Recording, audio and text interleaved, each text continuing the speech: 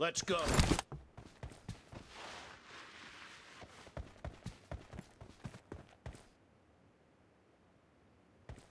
The blue team has scored for the first time!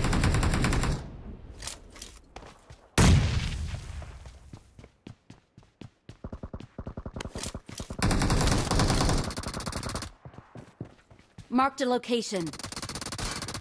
Target down. Watch out!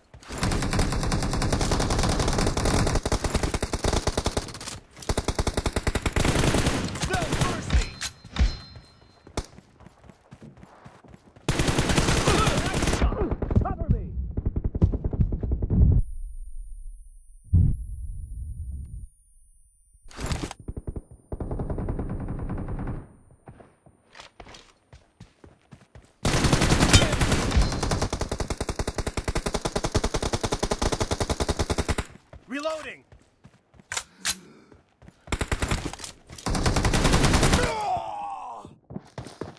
Killing spree for the blue team! The blue team is in the lead.